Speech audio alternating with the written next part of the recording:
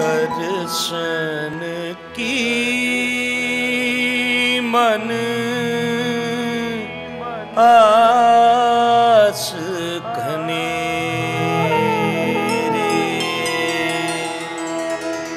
दर्शन